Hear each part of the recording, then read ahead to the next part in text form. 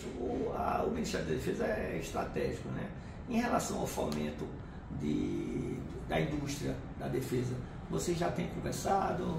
É, eu vi que você, o senhor já recebeu... Olha, desde que eu cheguei aqui, a gente está tocando isso, porque já tivemos com o embaixador da Índia, já tivemos com o embaixador da Alemanha, é, vamos ter o embaixador da França na próxima semana, porque é a geração de emprego mais rápido é na indústria de defesa. É, os números são absolutamente estimulam para que isso aconteça.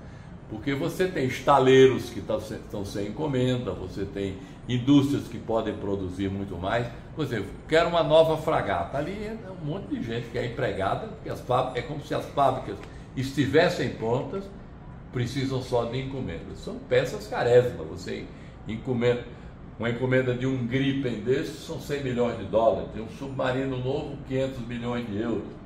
Mas você tem foguetes, você tem outro tipo de. A indústria de defesa é muito grande. E tem a parte de incentivo à tecnologia. Né?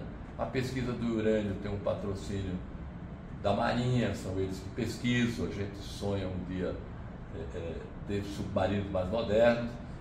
Temos parcerias com a França nessa área, temos com a Suécia na área do, do, dos caças, de maneira que a indústria brasileira tem potencial enorme de crescer, de gerar emprego, gerar divisas e ter uma presença marcante e respeitável na, na, no mundo.